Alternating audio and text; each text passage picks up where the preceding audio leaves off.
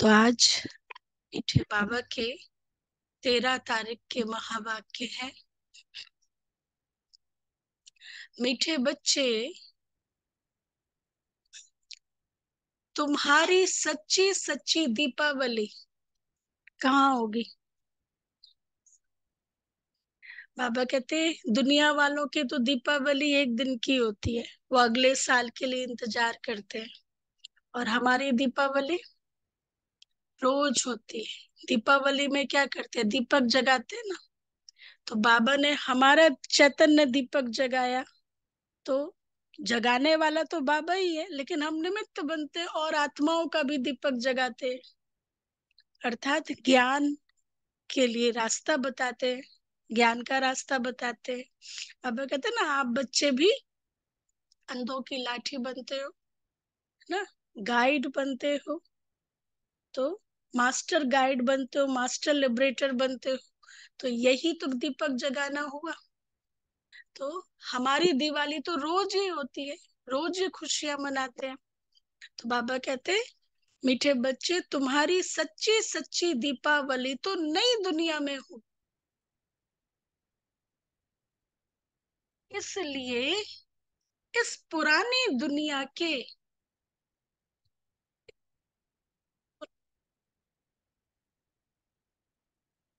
उठे उत्सव आदि देखने की दिल तुम्हें नहीं हो सकती। इसलिए इस पुरानी दुनिया के झूठे उत्सव आदि देखने की दिल तुम्हें नहीं हो सकती। प्रश्न है, तुम होली हंस हो तुम होली हंस हो और तुम्हारा कर्तव्य क्या है? बताओ। जो होली हंस होते हैं उनका कर्तव्य क्या होता है? खुद पवित्र बने और औरों को भी पवित्र बने। और मुख्य होली हंस का काम क्या होता है? मोती चुगना और परखना। हाँ। हंस कहते ना हंस बुद्धि। मतलब कितना भी नेगेटिव है सराउंडिंग लेकिन तो भी वो प्रकाश को पॉजिटिविटी को ढूंढ लेगा। कंकड़ और मोती है, उसमें से मोती मोती चुग लेगा। दूध और पानी है, दूध दूध पी लेगा। तो हंस बुद्धि। तो बाबा कहते तुम होली हंसो, तुम्हारा कर्तव्य क्या है? आंसर, हमारा मुख्य कर्तव्य है एक बात की याद में रहना। एक बाप की याद में रहना। और सबका बुद्धि योग एक बाप के साथ जुड़ाना। और सबका बुद्धि योग एक बाप के साथ जुड़ाना।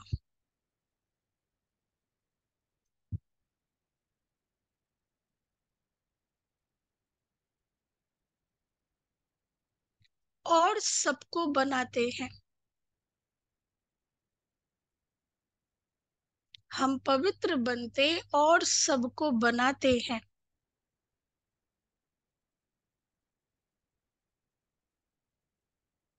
मनुष्य को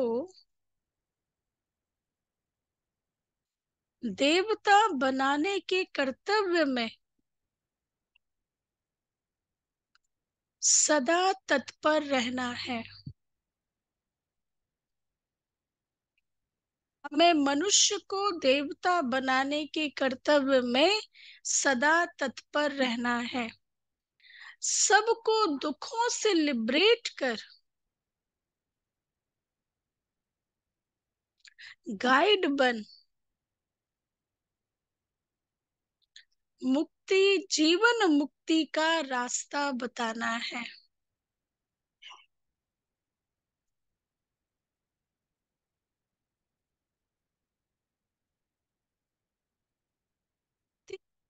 जीवन मुक्ति का रास्ता बताना है। अच्छा गीत है, बहुत बढ़िया गीत है। कौन सा होगा गीत? तुम्हें पाके हमने जहाँ पा लिया है। जमी तो जमी, आसमां पा लिया है। अच्छा ओम शांति। बच्चों ने गीत सुना। बच्चे कहते हैं, हम स्वर्ग की राजाई का वर्षा पाते हैं। उसे कभी कोई जला ना सके, कोई छीन ना सके। ना फियर फ्री ऐसा वर्षा मिलता है, कोई डर नहीं है। इनकम टैक्स का डर, ये, फलाना, सब। अब कहते हैं, ऐसा वर्षा पाते जिसे कोई जला ना सके, छीन ना सके। वह वर्षा हमसे कोई जीत ना सके। आत्मा को बाप से वर्षा मिलता है, और ऐसे बाप को बरोबर मात पिता भी कहते हैं। मात पिता को पहचानने वाला ही इस संस्था में आ सकता है। बाप भी कहते, मैं बच्चों के सम्मुख प्रत्यक्ष हो पढ़ाता हूँ। प्रत्यक्ष हो पढ़ाता हूँ और राजयोग सिखाता हूँ। हाँ बाबा सामने है। कौन है सामने? हुँ? कौन सुना रहे मुरली? बाबा। बाबा की मुरली बाबा सुनाते ना? तो प्रत्यक्ष हो पढ़ाता हूँ। बच्चे आकर बेहद के बाप को अपना बनाते हैं। जीते जी। धर्म के बच्चे जीते जी लिए जाते हैं। आप हमारे हैं और हम आपके हैं। तुम हमारे क्यों बने हो? कहते हो, बाबा, आपसे स्वर्ग का वर्षा लेने हम आपके बने हैं। ऐसे ही है ना? क्यों बने बाबा से? बाबा के, बाबा से स्वर्ग का वर्षा लेने के लिए हम बाबा के बने हैं। अच्छा बच्चे, ऐसे बाप को कभी फारकती नहीं देना, नहीं तो नतीजा क्या होगा? चंडिका देवी का देखा था ना, है ना? नहीं तो नतीजा क्या होगा? हम्म। हम्म। तो बाबा ने कहा, स्वर्ग की राजाई का पूरा वर्षा तुम पा नहीं सकेंगे। बाबा, मम्मा, महाराजा, महारानी बनते हैं ना? तो पुरुषारत कर फिर इतना वर्षा पाना है। परंतु बच्चे पुरुषारत करते करते फिर फार कति दे देते हैं। फिर जाकर विकारों में फंसते हैं। वह हेल में गिरते हैं नरक में और गिरते जाते हैं। हेल नरक को हेवन स्वर्ग को कहा जाता है। कहते हैं, हम सदा स्वर्ग के मालिक बनने के लिए बाप को अपना बनाते हैं, क्योंकि अभी हम नरक में हैं। हेवनली गॉड फादर जो जो स्वर्ग का रचयिता है, वह जब तक ना आए, तब तक कोई हेवन जा ना सके। उनका नाम ही है हेवनली गॉड फादर यह भी तुम अभी जानते हो। बाप कह रहे हैं, बच्चे, तुम समझते हो। बरोबर बाप से वर्षा पाने के लिए हम बाप के पास आए हैं। पाँच हज़ार वर्ष पहले मुआफिक, परंतु फिर भी, परंतु फिर भी ये आवाज़ नहीं आ रही। आ रही है। परंतु फिर भी चलते चलते माया के तूफ़ान एकदम बर्बाद कर देते फिर क्या होता आगे? फिर पढ़ाई को छोड़ देते हैं, गोया मर गए। ईश्वर का बन कर फिर अगर हाथ छोड़ दिया तो गोया नई दुनिया से मरकर पुरानी दुनिया में चला गया। हेवनली गॉड फादर ही नर्क के दुख से लिबरेट कर फिर गाइड बन स्वीट साइलेंस होम में ले जाते हैं। जहाँ से हम आत्माएँ आई हैं फिर स्वीट हेवन की राजाई देते हैं। दो चीज़ देने बाप आते हैं। कौन सी दो चीज़ देने?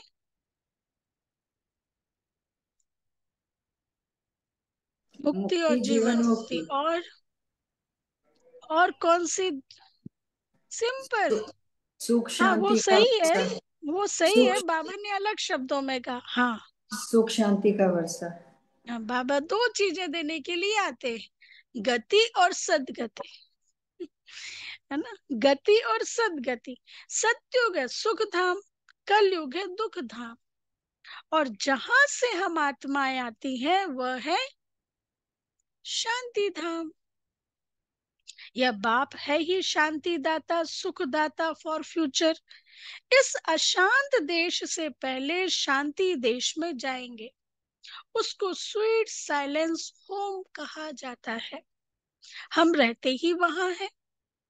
यह आत्मा कहती है कि हमारा स्वीट होम वह परम धाम है। फिर हम जो इस समय नॉलेज पढ़ते हैं उससे हमको स्वर्ग की राजधानी मिलेगी। बाप का नाम ही है। इस संदर्भ में बाबा का नाम क्या हुआ? बाप का नाम ही है। क्या नाम है? का रचयिता। हाँ। Heavenly God father liberator guide knowledge full blissful ज्ञान का सागर कितने सारे नाम बाबा के रहम दिल भी है, सब पर रहम करते हैं, तत्वों पर भी रहम करते हैं। सभी दुख से छूट जाते हैं। अब दुख तो जानवर आदि सबको होता है ना। कोई को मारो तो दुख तो होगा ना। बाप कहते हैं, मनुष्य मात्र तो क्या?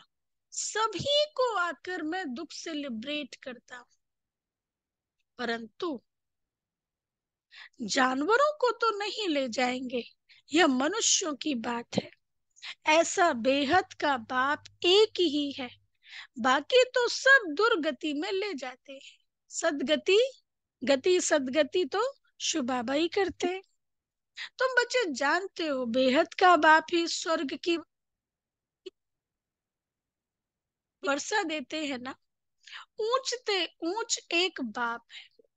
सभी भक्त उस भगवान बाप को याद करते हैं। क्रिश्चियन भी गॉड को याद करते हैं।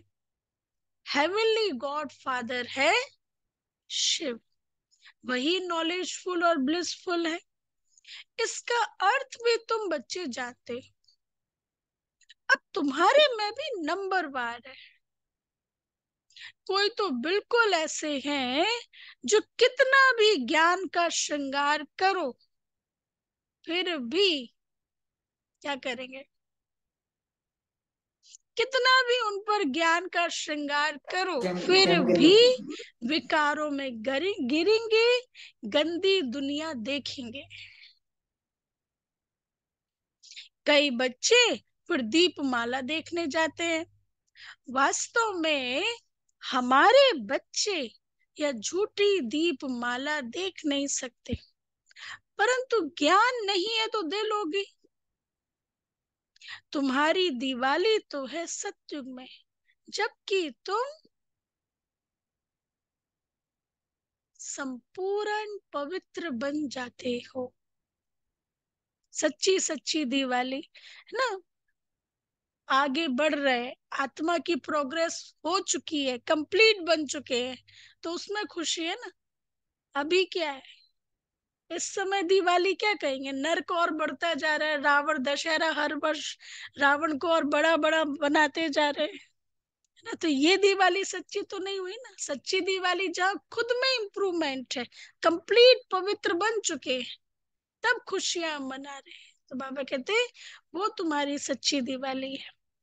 तुम बच्चों को समझाना है कि बाप आते ही है स्वीट होम व स्वीट हेवन में ले जाने। पढ़ेंगे, धारणा करेंगे, वही स्वर्ग की राजधानी में आएँगे। परंतु परंतु क्या चाहिए? बताओ। डैश, परंतु डैश भी चाहिए ना? परंतु जो अच्छी रीति पढ़ेंगे, धारणा करेंगे, वही स्वर्ग की राजधानी में आएँगे, परंतु भी चाहिए ना? परंतु तकदीर भी चाहिए ना?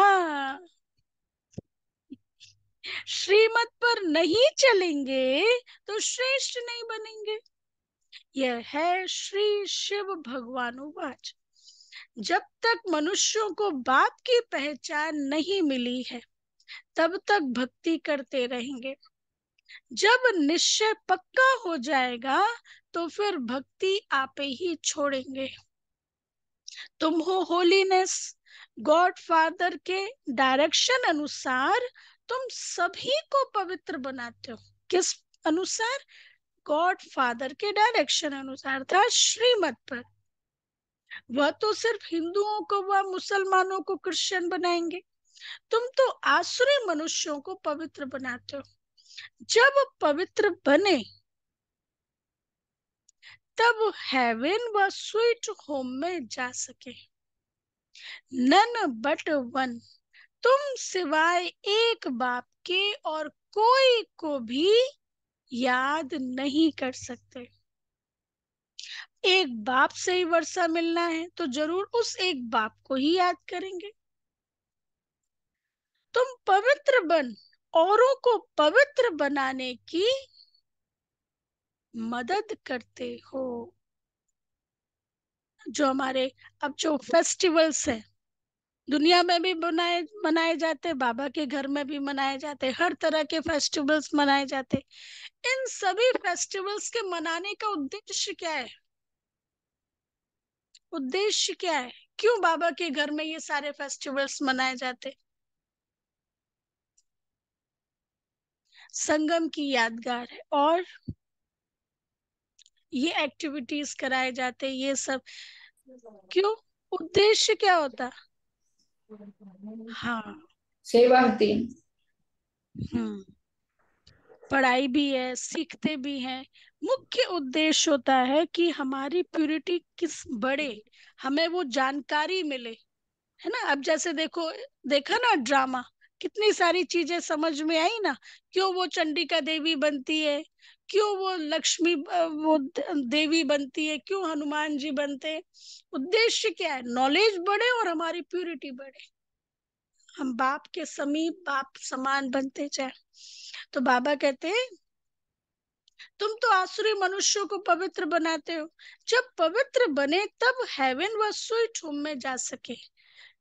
नन बट वन तुम सिवाय एक बाप के और कोई को याद नहीं करते हो। एक बाप से ही वर्षा मिलना है तो ज़रूर उस एक बाप को ही याद करेंगे। तुम पवित्र बन, औरों को पवित्र बनाने की मदद करते हो। तुम होली नंस पवित्र भी बनाते हो और सभी आत्माओं को, और सभी आत्माओं का एक गॉड फादर से बुद्धि योग जुटाती हो। गीता में भी है ना कि देह सहित देह के सभी संबंध छोड़।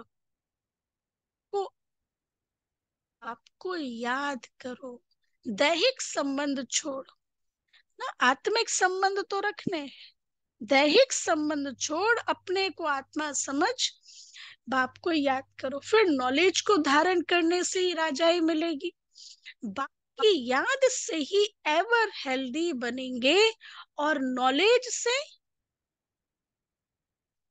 एवर वेल्दी बनेंगे। बाप की याद से एवर हेल्दी बनेंगे और नॉलेज से एवर वेल्दी बनेंगे। बाप तो है ही ज्ञान सागर। सभी वेदों शास्त्रों का सार बतलाते हैं। ब्रह्मा के हाथ में शास्त्र दिखाते हैं ना? तो यह ब्रह्मा है। शिव बाबा इनके द्वारा सभी वेदों शास्त्रों का सार समझाते हैं। वह है ज्ञान का सागर। इनके द्वारा तुमको नॉलेज मिलती रहती है। तुम्हारे द्वारा, इनके द्वारा, ब्रह्मा के द्वारा तुमको नॉलेज मिलती रहती है। तुम्हारे द्वारा फिर औरों को मिलती रहती है।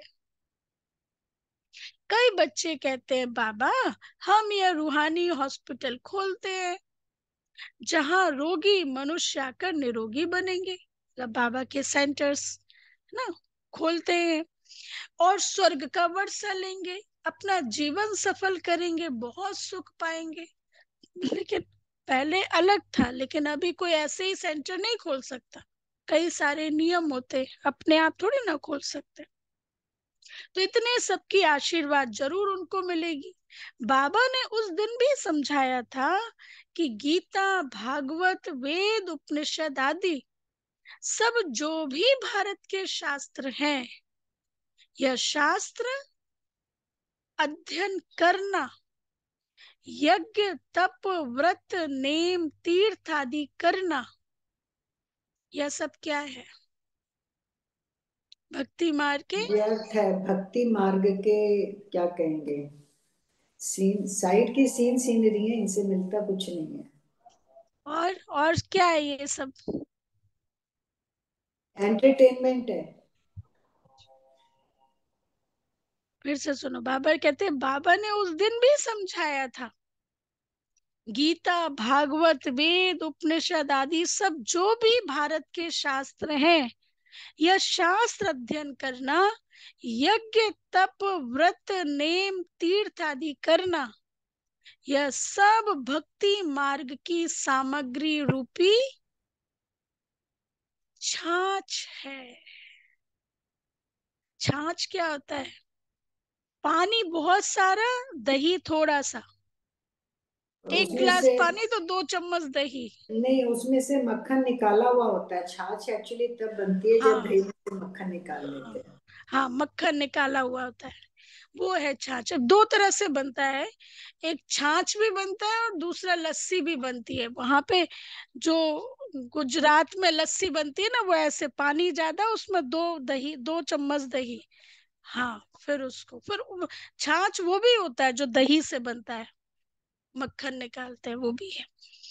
तो बाबा कहते हैं, छाछ है। और बाबा हमें क्या सुना रहे हैं? असली ज्ञान, असली मक्खन हम ले रहे हैं। और वहाँ पर जो है, वो मक्खन निकल चुका है, छाछ है। यहाँ पे असली मक्खन जो आत्मा हेल्दी वेल्दी बनती है। अच्छा एक ही श्रीमत भगवत गीता के भगवान से भारत को मक्खन मिलता है। श्रीमत भगवत गीता को भी फिर खंडन कर दिया है। जो ज्ञान सागर पतित पावन, निराकार परम पिता परमात्मा के बदले कैसे खंडन किया है भगवत गीता को? कृष्ण का नाम डाल दिया। हाँ जो ज्ञान हाँ जो ज्ञान सागर बाबा के बदले श्री कृष्ण का नाम डालकर छाछ बना दिया है। एक ही कितनी बड़ी भारी भूल है। अभी तुम बच्चों को ज्ञान सागर डायरेक्ट ज्ञान दे रहे हैं। अभी तुम जानते हो कि यह सृष्टि चक्र कैसे फिरता है। यह सृष्टि रूपी झाड़ की वृद्धि कैसे होती है? तुम ब्राह्मण हो, चोटी, और शिव बाबा है? तुम ब्राह्मण हो, चोटी, और शिव बाबा है? ब्राह्मणों का बाप। है ना? और शिव बाबा है, ब्राह्मणों का बाप। फिर ब्राह्मण से देवता, फिर क्षत्रिय वैश्य शूद्र बनेंगे। यह हो गई बाजोली। बाजोली का खेल समझते ना? वो बच्चे कुलटाई खाते ना, सिर और पैर जहाँ एक साथ होते हैं, फिर गोल घूमते हैं, फिर ऐसे तो इसको बाबा कहते हैं बाजोली। इसको चौरासी अब वो तो मुझे नहीं पता, लेकिन बाजोली हाँ ऐसे ऐसे हाँ। हाँ। हाँ हाँ हाँ वही। तो इसको तुम बाबा कहते हैं तुम बाजोली खाते हो। इसको चौरासी जन्मों का चक्र कहा जाता है। वेद सम्मेलन करने वालों को भी तुम समझा सकते हो कि भक्ति है छाछ और ज्ञान है मक्खन जिससे मुक्ति जीवन मुक्ति मिलती है। अब अगर तुमको विस्तार से ज्ञान समझना है परिवत होकर सुनो। ब्रह्मा कुमारियाँ तुमको समझा सकती है। शास्त्रों में भी लिखा हुआ है, भीष्म, पितामह अश्वत्थामा आदि को पिछाड़ी में इन बच्चों ने ज्ञान दिया है। अंत में यह सब समझ जाएँगे कि यह तो ठीक कहते हैं। अंत में आएँगे ज़रूर। तुम प्रदर्शनी करते हो। कितने हज़ार मनुष्य आते हैं। परंतु निश्चय बुद्धि सब थोड़े ही बन जाते। कोटों में कोई ही निकलते हैं जो अच्छी रीति समझकर फिर निश्चय करते हैं। कोटों में कोई तो यहाँ पे जो मुरली सुनने बैठे वो कौन है? कोटों में कोई कोई में भी कोई हम बाबा के सिकी लदे बच्चे हैं। अच्छा अब मातेश्वरी जी के महावाक्य। हेडिंग है, यह ईश्वरी सत्संग कॉमन सत्संग नहीं है। अपना यह जो ईश्वरी सत्संग है कॉमन सत्संग नहीं है, यह है ईश्वरी स्कूल और कॉलेज। ना मम्मा कह रहे, औरों की तरह ये सत्संग नहीं है। कि वहाँ गए, कथा हुई और बैठ गए, ये कॉलेज है यूनिवर्सिटी है। जिस कॉलेज में अपने को रेगुलर स्टडी करनी है, बाकी तो सिर्फ़ सत्संग करना, थोड़ा समय वहाँ सुना, फिर तो जैसा है वैसा ही बन जाता है। क्योंकि वहाँ कोई रेगुलर पढ़ाई नहीं मिलती है, जहाँ से कोई प्रारब्ध बने। इसलिए अपना सत कॉमन सत्संग नहीं है। अपना तो ईश्वरी कॉलेज है। जहाँ परमात्मा बैठ हमें पढ़ाते हैं। कारण कर ऊंच पद को प्राप्त करते हैं। जैसे रोज़ाना स्कूल में मास्टर पढ़ाए, डिग्री देता है, वैसे यहाँ भी स्वयं परमात्मा, गुरु, पिता, टीचर के रूप में हमको पढ़ाए, सर्वोत्तम देवी देवता पद प्राप्त कराते हैं। इसलिए इस स्कूल में ज्वाइंट होना ज़रूरी है। यहाँ आने वाले को यह नॉलेज समझना ज़रूर है। अब यहाँ कौन सी शिक्षा मिलती है? इस शिक्षा को लेने से हमको क्या प्राप्ति होगी? ये तो जान चुके हैं। हाँ यहाँ कौन सी शिक्षा मिलती है? और इस शिक्षा को लेने से हमको क्या प्राप्ति होगी? ये कि हमको खुद परमात्मा आकर डिग्री पास कराते हैं। और फिर एक ही जन्म में सारा कोर्स पूरा करना है। तो जो शुरू से लेकर अंत तक इस ज्ञान के कोर्स को पूरी रीति उठाते हैं। वो फुल पास होंगे। बाकी जो कोर्स के बीच में आएँगे, वो इतनी नॉलेज को उठाएँगे नहीं। उन्हों को क्या पता आगे का कोर्स क्या चला। इसलिए यहाँ रेगुलर पढ़ना है। इस नॉलेज को जानने से ही आगे बढ़ेंगे। इसलिए रेगुलर स्टडी करनी है। रेगुलर पढ़ना है। अच्छा। दूसरी मुरली मम्मा की ही परमात्मा का सच्चा बच्चा बनते कोई संशय में नहीं आना चाहिए। कोई डाउट नहीं रखना है। जब परमात्मा खुद इस सृष्टि पर उतरा हुआ है तो उस परमात्मा को हमें पक्का हाथ देना है। लेकिन पक्का सच्चा बच्चा ही बाबा को हाथ दे सकता है। भगवान भी किसका स्वीकार करेगा? भगवान भी किसका स्वीकार करेगा? जो। आज्ञाकारी होगा। भाई आउट किया तो एक एक और। हाँ। इस बाप का हाथ कभी नहीं छोड़ना। अगर छोड़ेंगे तो फिर निधन का बन कहाँ जाएँगे? ऑर्फन हो बाबा कहते कहाँ जाएँगे? जब परमात्मा का हाथ पकड़ लिया कर सकता तो फिर सूक्ष्म में भी यह संकल्प नहीं आना चाहिए कि मैं छोड़ दूँ वह संशय नहीं आना चाहिए। पता नहीं हम पार करेंगे व नहीं।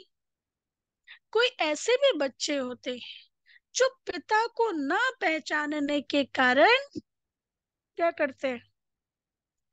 पिता को न पहचानने के कारण पिता के भी सामने पड़ते हैं मतलब सामना करते हैं, जवाब, सवाब, सवाल सामने कर, सामने पड़ते हैं और ऐसे भी कह देते हैं, हमको कोई की अगर ऐसा ख्याल आया तो ऐसे ना लायक बच्चे की संभाल पिता कैसे करेगा? फिर तो मानो कि गिरा कि गिरा, क्योंकि माया तो गिराने की बहुत कोशिश करती है। माया तो बैठी ही है कि ये हमारे राज्य में ही रहे। क्यों क्यों शिव बाबा के राज्य में जाए? हमारे राज्य में रहे। माया तो गिराने की बहुत कोशिश करती है, क्योंकि तो परीक्षा तो अवश्य लेगी कि कितने तक योद्धा रुस्तम पहलवान है। परीक्षाएँ तो अंत तक आएँगी ना। अब यह भी ज़रूरी है, जितना जितना हम प्रभु के साथ रुस्तम बनते जाएँगे, शक्तिशाली बनते जाएँगे, उतना उतना जितना जितना हम रुस्तम बनते जाएँगे उतना उतना माया भी रुस्तम होके लड़ेगी। हाँ उतना उतना माया भी रुस्तम रुस्तम बन हमको गिराने की कोशिश करेगी। हाँ जोड़ी पूरी बनेगी। जितना प्रभु बलवान है तो माया भी उतनी बलवानी दिखलाएगी। परंतु अब देखो, जिस लेवल का अब कोई यूपीएससी का एग्ज़ाम दे रहा है तो उसके पास पेपर भी तो उसी लेवल का आएगा ना। एमबीए कर रहा उसी लेवल का पेपर आएगा ना। नर्सरी का पेपर थोड़ी ना आएगा। आप पेपर पास करते करते आप आगे पहुँच गए तो उसी लेवल का पेपर आएगा ना। अब हम सोचे हमारे पास इतनी बड़ी परिस्थिति क्यों आई? प्राप्ति भी तो इतनी बड़ी चाहिए। चाहिए ना। तो बाबा कहते हैं हाँ तो माया भी उतना ही बलवानी दिखलाएगी परंतु अपने को तो नि, पक्का निश्चय है। कल की मुरली भी थी ना? निश्चय बुद्धि विजयंती। और दूसरा निश्चय क्या था? सफलता बर्थ राइट है। सफलता मेरा बर्थ राइट है। ये नशा ये निश्चय होना चाहिए। तो आज मम्मा भी कह रहे, परंतु अपने को तो पक्का निश्चय है, आखरीन भी परमात्मा महान बलवान है। आखरीन भी मतलब परमात्मा ही महान बलवान है ना? आज जो हम ये दीपावली मना रहे हैं तो इसका भी कंक्लूजन क्या है? बुराई पर अच्छाई की जीत? जो ऐसे लिखते थे, उसमें लास्ट में कंक्लूजन लिखते थे। यही होता था ना, बुराई पर अच्छाई की जीत। तो आखरीन भी परमात्मा बलवान है, आखरीन उनकी जीत है। श्वासो श्वास इस विश्वास में स्थित होना है।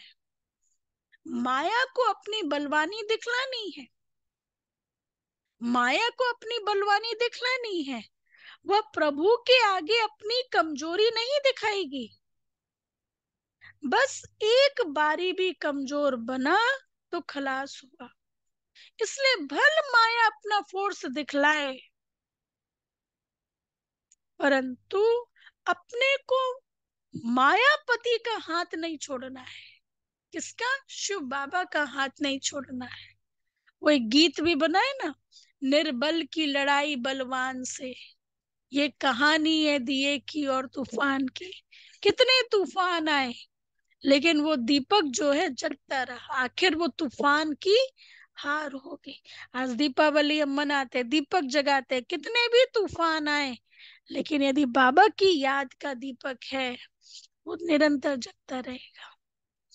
तो बाबा कहते अपने को मायापति का हाथ नहीं छोड़ना है, वो हाथ पूरा पकड़ा तो मानो उनकी विजय है। जब परमात्मा हमारा मालिक है तो हाथ छोड़ने का संकल्प नहीं आना चाहिए। मैं शाम को इवनिंग वॉक एक बार कर रही थी रात में। तो एक छोटा पैट एक अपने मालिक के साथ में वो भी था। तो थोड़ी देर के बाद तीन चार बड़े बड़े कुत्ते आ गए और वो छोटा पैट जो था उसके सामने आके सामना करने लगे। तो वो जो छोटा था, वो भी बराबरी से सामना कर रहा था। किस दम पे? का हाँ? मालिक था ना साथ में। मालिक था ना यदि वो अकेला होता तो वो सामना कर पाता। तो वो छोटे पेट को भी इतनी अकल है कि मेरे साथ मेरा मालिक है वो मुझे कुछ नहीं होने देगा। है ना? तो बाबा कहते हम कौन है फिर? है ना? हमें अपने आप पर इतना भी वो आएँगे परिस्थितियाँ आएँगी लेकिन हमने तो उसका हाथ पकड़ा है ना। हमारा कंपेनियन तो बाबा है ना। तो हमेशा सेफ़ है। तो बाबा कहते तो हाथ छोड़ने का संकल्प नहीं आना चाहिए। परमात्मा कहता है, बच्चे, जब मैं खुद समर्थ हूँ तो मेरे साथ होते तुम भी समर्थ अवश्य बनेंगे। समझा? समझा बच्चे? अच्छा अच्छा। अब बाबा का आज विशेष याद प्यार है। मीठे मीठे, सिकी लधी, सिकी लधे ज्ञान लकी सितारों प्रति। मात पिता बाप दादा का नंबर वार पुरुषार्थ अनुसार। नंबर वार पुरुषार्थ अनुसार। याद प्यार और गुड मॉर्निंग। रूहानी बाप रूहानी के रूहानी बच्चों को बच्चों को नमस्ते। नमस्ते। हम रूहानी बच्चों की रूहानी बाप दादा को दादा याद प्यार गुड मॉर्निंग और नमस्ते। प्रिया बाबा थैंक बाबा यू बाबा। वाह वाह वाह वाह और नमस्ते थैंक यू धारणा के लिए मुख्य सार पहला पॉइंट पवित्र बन आप समान पवित्र बनाना है। पवित्र बन आप समान पवित्र बनाना है।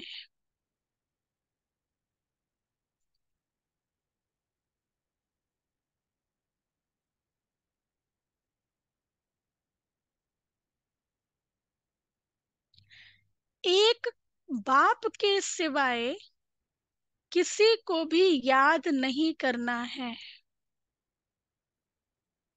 एक बाप के सिवाय किसी को भी याद नहीं करना है।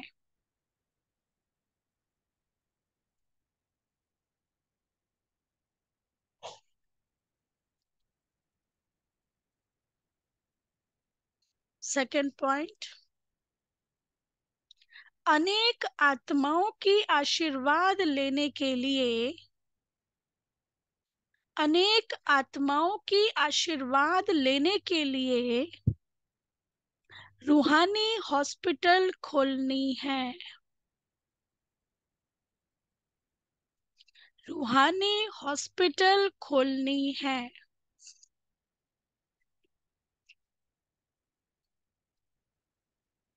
सबको गति सदगति की राह बतानी है।